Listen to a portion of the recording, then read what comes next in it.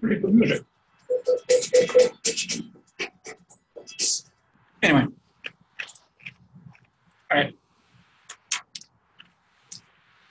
Organize my desk here so I can think clearly. Cool. So, another workshop for today, which is exciting. Let me get all set up here to share my screen. Get my picture of my face in front of me so I know when I look weird or not.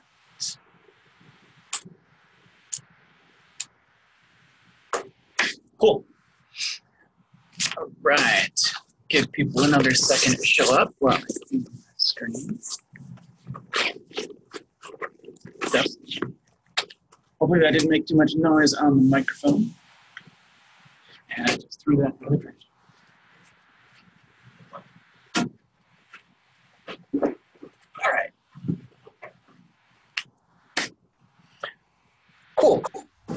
right, let's get going here.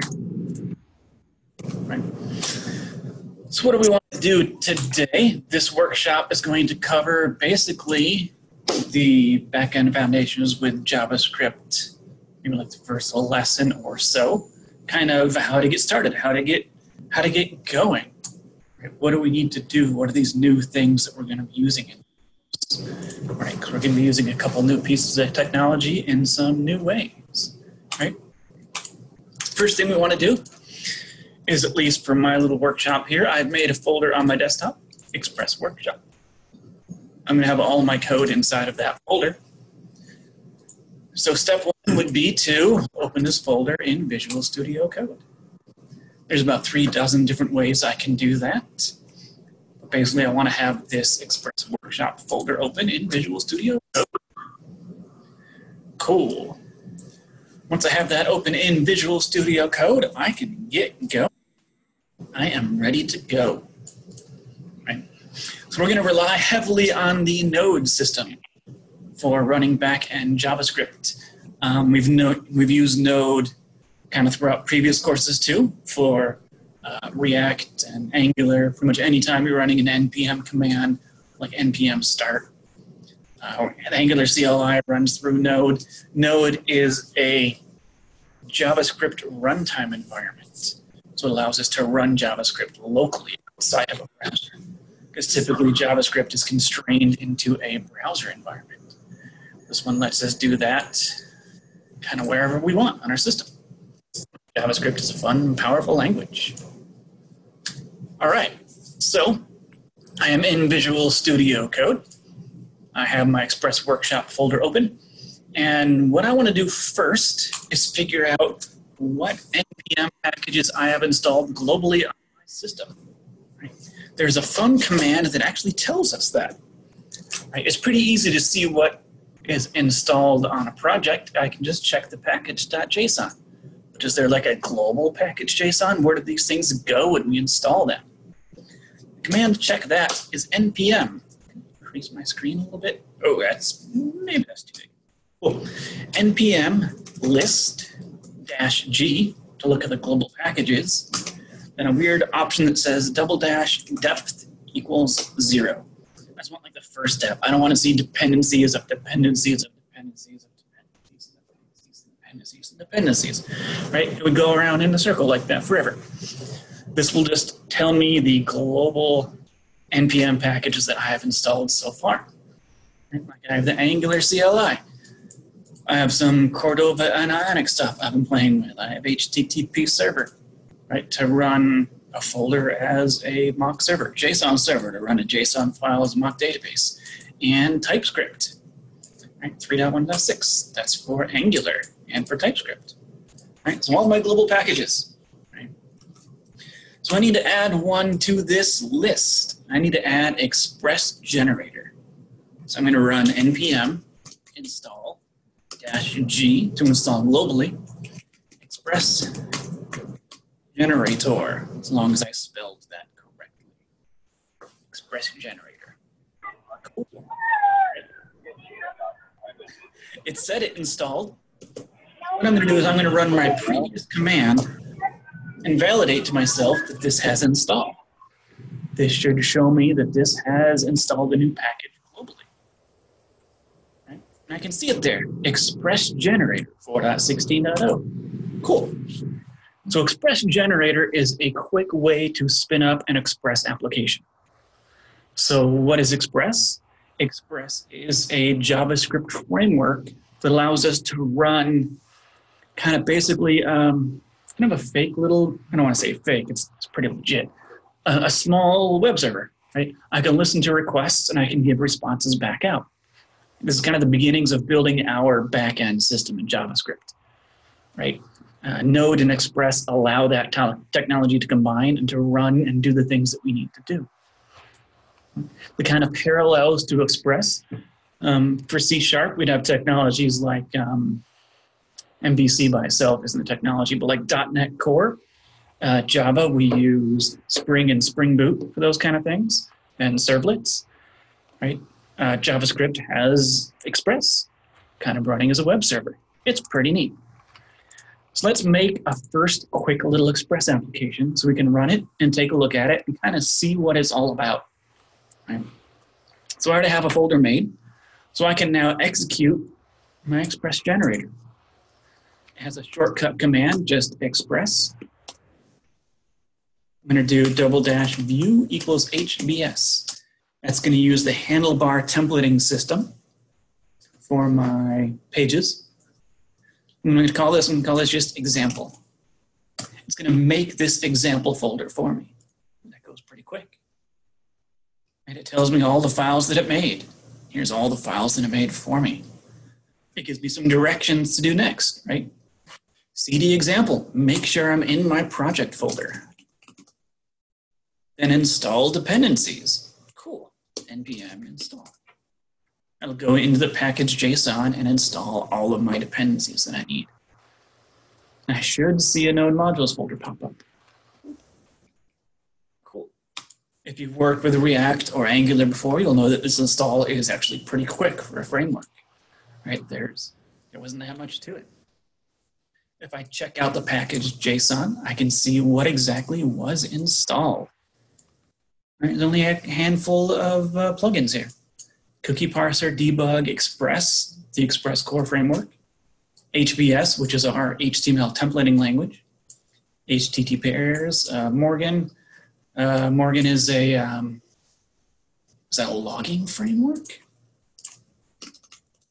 I want to say that actually had a funny name because they named it Morgan for a very funny reason. Yep, it's named after Dexter. show you should not watch until completion. Here is the here's the page on the Morgan plugin. If I can make, can I make my browser bigger? There we go. Right, Morgan, HTTP request logger middleware for Node.js. Right, blam, named after Dexter, Dexter Morgan. Wow, the things you learn every day. Cool. So some plugins and dependencies here. Right? So what did it say next? Did it give us a start command? Uh, run and debug. We're just going to say npm start. npm start should do something. It looks like it's going to build up our application. .bin www. Right? Kind of some weird boot up stuff that Express is doing. And did it do anything? Should have popped open a page. Post. And what does it spit out on 3000? There. It does go out on 3000. Cool. So although it's not saying it, this has broadcasted a site on the address of localhost colon 3000. Right, colon 3000. That's the server and port address of this system, we see Express. Welcome to Express. Right? So if I see something on a page, I should be able to find that page. So views index. I can kind of see this little handlebar icon, look at handlebar mustache. Right? Has a title and welcome to title. I want to change this to howdy and save that right? My page is still the same. If I refresh it, I get Howdy Express. Cool. Right? So I'm actually able to manipulate the content of this page that my browser is showing. If there's a title here, where's that title coming from? Right? This looks kind of like the uh, interpolation of Angular or putting in uh, React JavaScript. This is kind of a standard way to pull information across from some sort of script to some sort of HTML.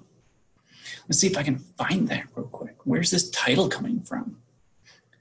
Right. So if I have views and I have routes, I have an index and an index here, maybe this index tells me some information. Right. It has uh, some information here. There's some stuff we haven't quite covered yet, but at least here's, here's an object. Here's a JavaScript object.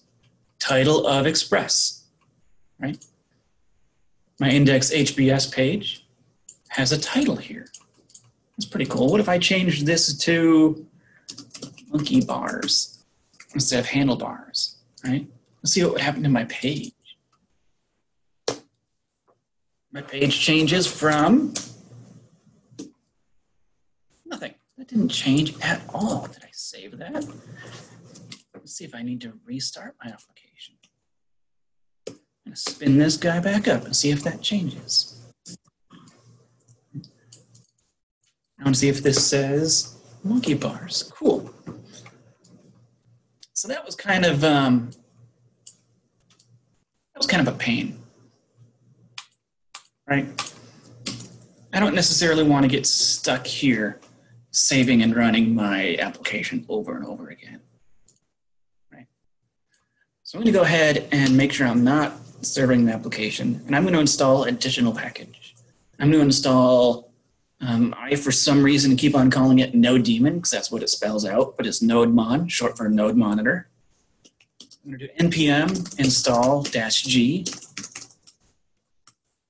node mon, right? And enter. That'll install that package globally.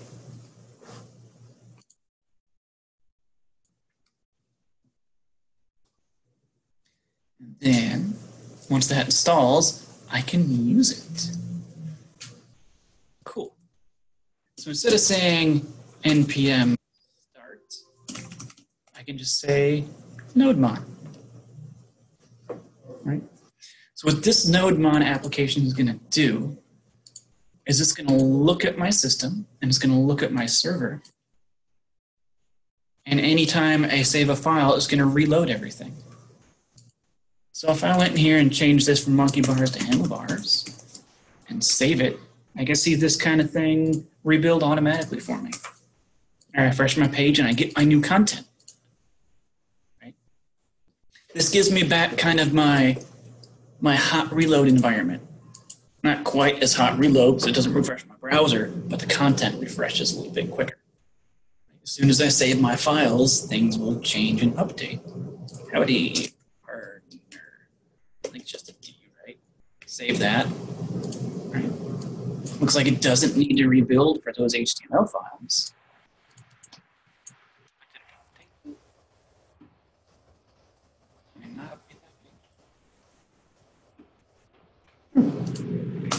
There we go. Apparently, my function, there we go, I hit my function key somewhere. There we go, control F5. Howdy partner handlebars. Right? So that's pretty neat. So, so far I can see that I have kind of the benefit of a framework. I have a script and I have what looks like kind of HTML talking to each other, but actually have some additional benefits here that aren't quite as apparent off the bat. On top of kind of tying like a backend script to a front end HTML, I can start building something we generally call like like an API or a REST endpoint. Right? I can make endpoints that accept data and send back some sort of response. Right? And by endpoint, I mean generally some sort of an address, some sort of web address I can go to will give me information that I'm looking for. I can send requests to it and get responses back. Right? in earlier lessons, we've probably consumed some endpoint somewhere. I know that GitHub has some. GitHub API. Right. Here's some documentation on the GitHub API. Right. Maybe I want to do, what was it, users? Users, get a single user? Uh, get users, where's the addresses? I can't remember the address off the top of my head. But endpoints where we can get maybe our repositories off from our user in information, right? It's an information transfer system. I can make an application and give other people the ability to reach in and get data. I can then start tying our, our front end of our system, which would traditionally be like Angular or React, and have them fetch data from my back end through HTTP requests and then show them on the page. Right? This is kind of that, that missing piece that's going to sit in the middle of our applications and our databases and handle the transfer of that data back and forth. Right? It's pretty cool. These systems get pretty neat and they're actually pretty fun to make. Right. So I have, I'm going to close this project down. I'm going to look at my page real quick to make sure I'm not going crazy. Because, no, there's not that. I should have brought up the sample projects before. Hmm. I figured out. Maybe I'll, I'll steal this to the side real quick here.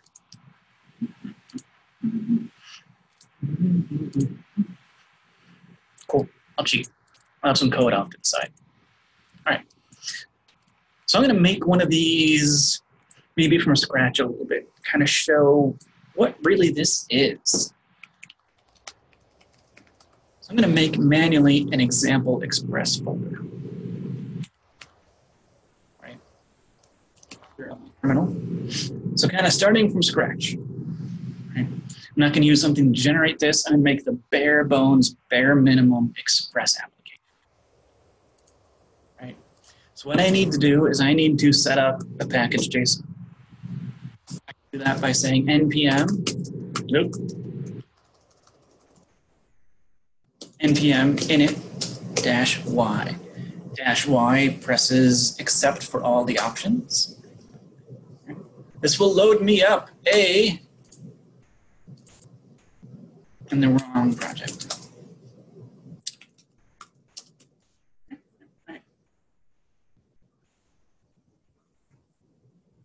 That'd be something. Express, cool, there we go. Uh, npm init dash y. Whatever directory this is ran in, it will create a package JSON file. Pretty standard blank package JSON. Once I have a package JSON, I want to install a couple things. npm install express. I want to install express into my application.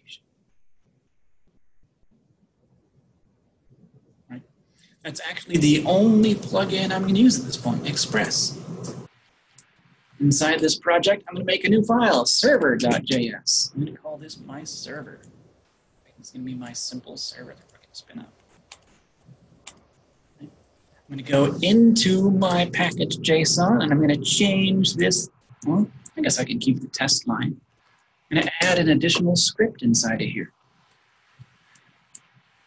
This section is pretty much where my npm commands go. If I did npm start, I can tell it to run a command. What I'm going to do is I'm going to tell it to run my file, run my server.js file. So if I said npm start, it's going to run the node monitor on my server.js file means it pretty much just started up and spun down. It's kind of neat. So server.js, this is where my application's brains are going to live. So what basic brains do I need? I need express. To say let express equal require express.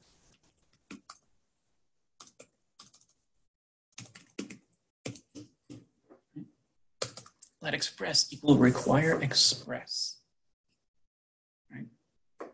Uh, this is kind of more of a node format for bringing in import statements. This is going to say require the express framework and put it into a variable called express. I need to make an application. Let app equal express. Right, create a new app. Right? It's not too crazy. Then I need to say, where is my? I'm going to say app.listen on port 3000. And I think that should spin it up. npm start. Oop, it started. What happens if I go to localhost 3000 now? Steal my Morgan page. Cool. Cannot get. I get an error message, but that's good. It actually means it's up and running, but it's not giving me what I want, but it's running, right?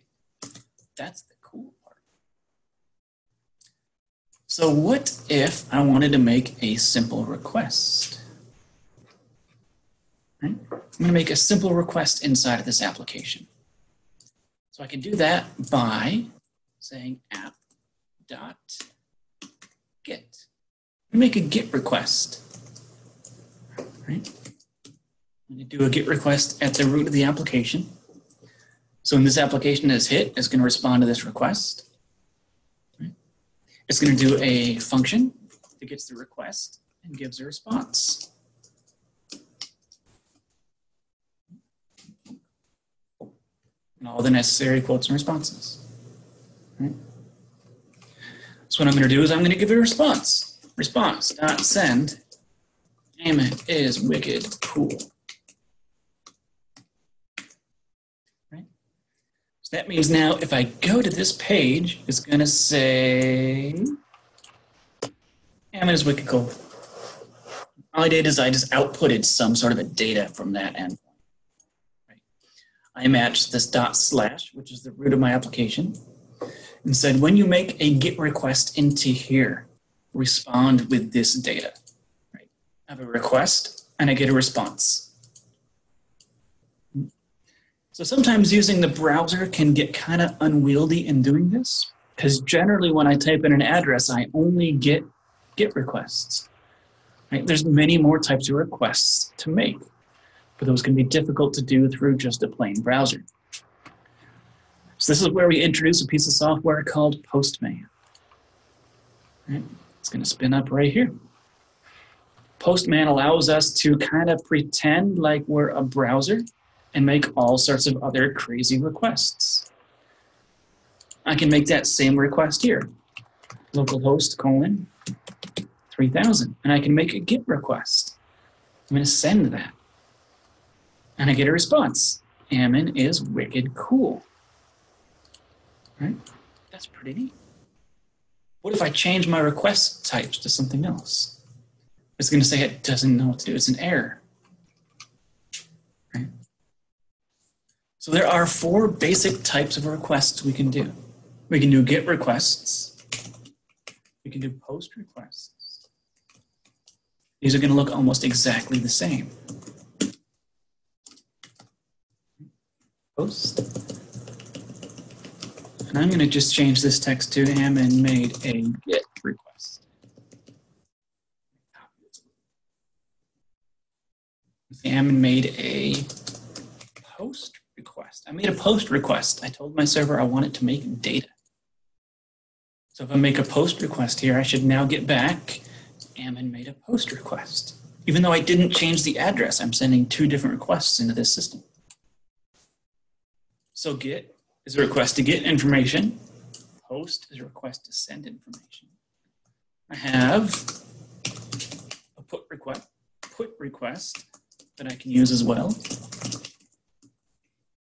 takes a function, takes a request, and gives a response. And we'll send back Ammon made a put request. Ammon made a put request. That means I can go back into Postman and make a put request. And I get my appropriate text back. Made a put request. My final type of request, delete. Takes a function, It takes in a request and gives a response. It's send me back the response of Ammon made a delete request. I take that and I make a delete request and send that in. Bam, Ammon made a delete request. So I've made my endpoint listen to the four primary HTTP verbs. Right, get, post, put, and delete. Delete request, right? Coincidentally, these four types of requests kind of line up to our four basic CRUD operations, right? This is my read, right? Read is synonymous with get. This is my create, which is usually synonymous with post. This is my update, which is generally synonymous with put. And delete is the easy one out of the bunch because it's always named the same.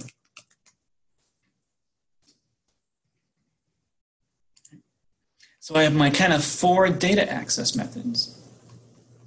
I can read, create, update, and delete. And I have four different HTTP requests to accomplish that as well. That means if I smartly design this system, I can flow requests from my front end to say, hey, create this data. Here's the data. This system can accept that data and analyze it, make sure it's correct. Send a request down to my database, get a response back, and send that response back up to the front end, right? I've made a whole chain of requests back and forth, up and down my system. And that works great because a lot of these methods match up, right? It seems like it was almost purposely designed that way right? Which I'm fairly confident it was. I actually hope it was. If this was accidental, then these people are smart people that made these. But I highly doubt it was an accidental. So cool, right? So four different types of requests. Right? Pretty neat. I get a little history of these too, kind of color coded. That's pretty neat. Yeah, I don't mean to be in driving. So, pretty much one of these is kind of a one of these is slightly different than the others. Actually, they're all slightly different from each other. They all have general purposes, right? So kind of a, a brief overview of what each of these types of requests is. I'm to clean up my space to give us more room here, right? So a GET request, right? A GET request is generally a passive request for data and does not make any changes all we're trying to do is get data. Right? We don't want to make any changes. Just say, just load me this page, give me this list of data, give me this single item, give me this array, give me information I'm asking for. Right? The expectation with the GET request is that it does not make any changes on the server. It doesn't, it just, hey, give me some information. Right? A post request is generally an active request. Right? It does make a change. It creates something. I'm saying, hey, make this user, log in this thing, do this action, right? A post request has access to a request body, right? It's one of the only ones that has access to this request body. I can send it information, right? We'll explore that in just a second. Actually, let's explore that right now. I'm going to say, I'm going to log something out here. Console log request.body. I'm going to have this log out any data that I send to it. And there's a very specific way to do this in our Postman application. I'm going to drag this over a little bit here. Cool. So if I make a post request to my address, this section highlights up called body. If I make a GET request, I don't have it. I'll make a delete request, I have it. And a put, I have it, right? A get, I don't have this. So post, I'm sending data across. I'm gonna hit this guy, right? This gives me some more options below there. The option I want is called raw. And instead of text, I want JSON, right? Body, raw, JSON, right? Kind of a, a weird phrase to remember, but when you're posting data, body, raw, JSON, I, I don't know, it sticks to me. I sing that in my head every morning. So that means that I can send JSON data across the pipe. Right? I can send an object of data. I can send some user information, information about me. I want to send this. As soon as I make this request, I get undefined. Hmm. Name. Did it need to be body.name? I'm curious. Heyo. Oh, I didn't put a. Uh, I'm missing uh, a plugin. Um,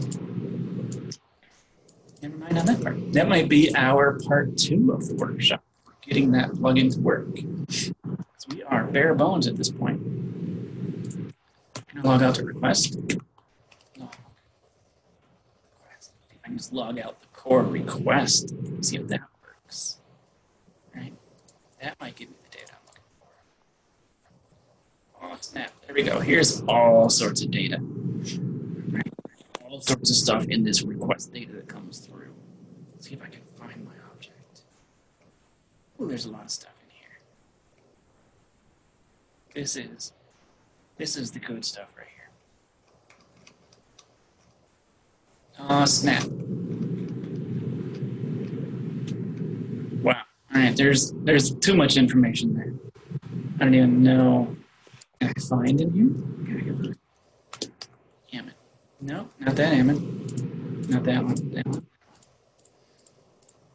My data I sense is probably hiding somewhere in here, but I can't seem to see it. But in short, I can send data across the pipe. Probably not the best example of that, but I can send data. This is kind of how I would accomplish that. Um.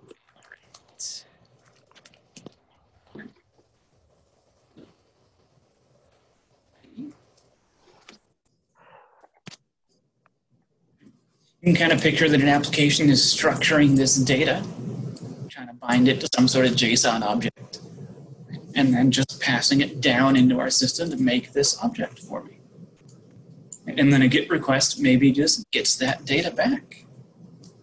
Right? It's pretty cool.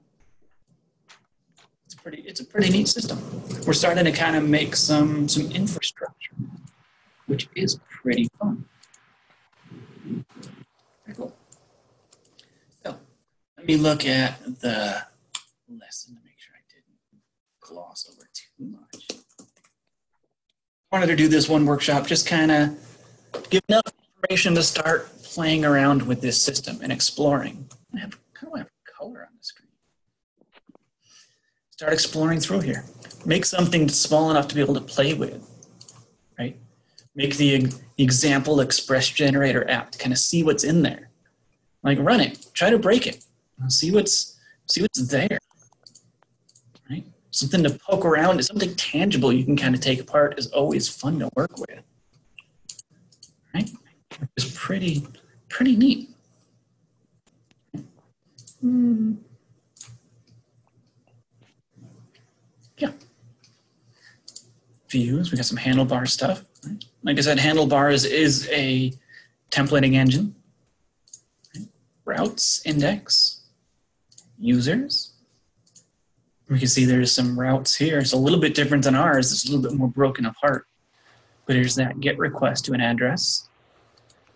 Here's another get request to an address. Hmm, interesting. There's some fun stuff in here.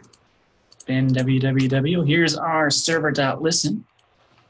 Right? Here's kind of more complex stuff that the Express generator gave us. Right? Right. I like I like Express applications. They're pretty quick and fun to spin up. You can kind of build something really cool and really lightweight and small since it runs on Node. It doesn't take that much overhead to get going. If anybody enjoys working with any type of like small microcontrollers or little mini web servers and stuff, a Node server on those are a piece of cake.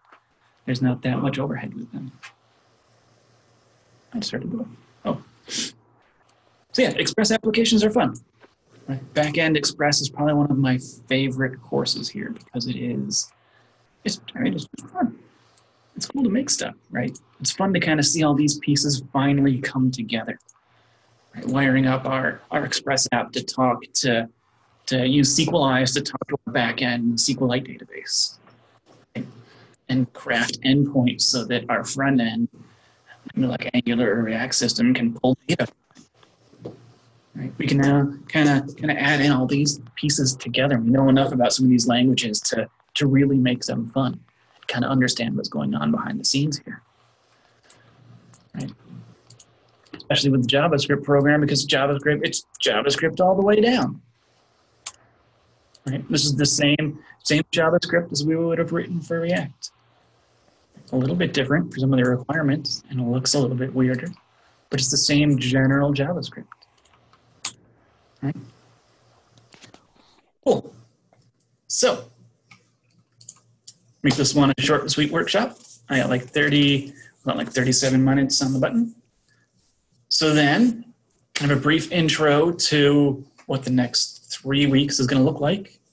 Right? Building systems like this, kind of digging deeper into what some of these requests mean.